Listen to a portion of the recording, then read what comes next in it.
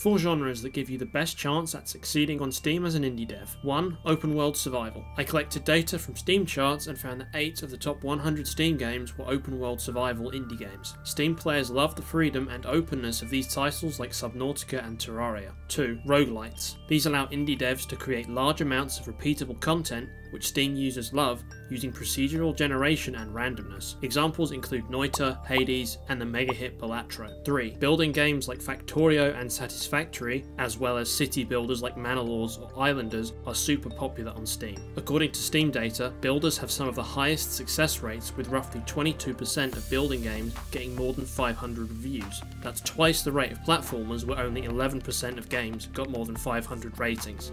Number 4. Horror. Horror games sell really well on Steam, and unlike other genres, fans don't expect them to be super long, making them a good choice for small indie studios. If you want to know more about this, check out the full video below.